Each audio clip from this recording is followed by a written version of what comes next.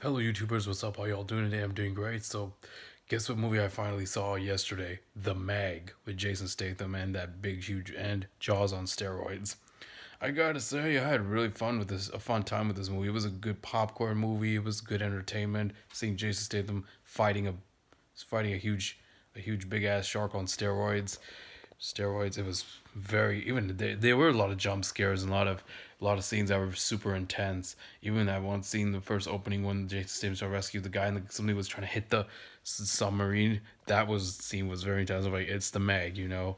And then they have this like underwater facility where they're I think it's like a biology some some type of science bio marine biology place, and then they're like they're like studying I think the sea life, and then they find out that there's a huge shark. My God, that shark, the way they designed it, it looked so incredible. This is like the modern day Jaws.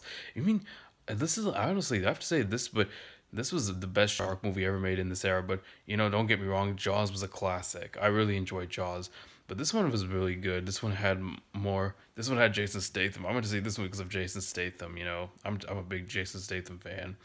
Even I mean, there hasn't been that many good shark movies that come out. Even that cheesy cheesy movie thing called Sharknado that looks pretty cheesy, and then other ones like 47 meters down that looked okay. I heard that didn't get that many good reviews, and then the only good, two good shark movies I've seen were The Shallows with Blake Lively, and then now this with Jason Statham. But I mean, this was a good one. This is the first time I've actually seen a shark movie in theaters, but I really had fun with it. Damn, this movie's making a lot of money. It beat Rampage. It beat, I think it beat Ready Player One.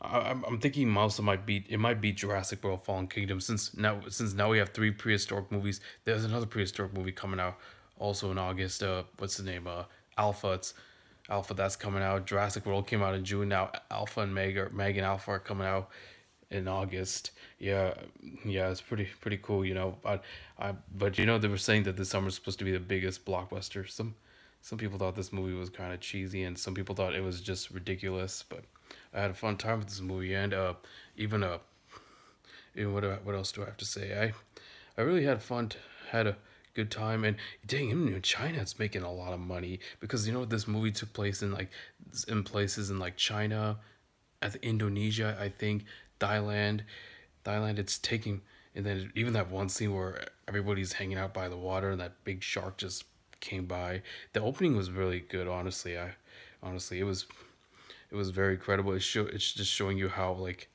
how uh, everything's underwater. That was a very good scene. And the what was that? Even oh my god, I'm gonna give you guys this is gonna be a spoiler. So if you got, I'm gonna spoil this for you guys. At the end, Jason Statham kicks the shark's ass.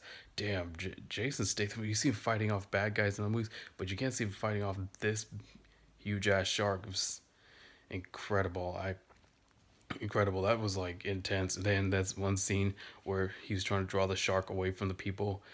And you know, I found out there was another megalodon, and also it was crazy.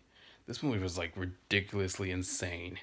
I re- and I really had fun time in this movie. I saw it in 3D, and even every time I saw a shark, I was like, "Holy, oh my god, that's a big one!"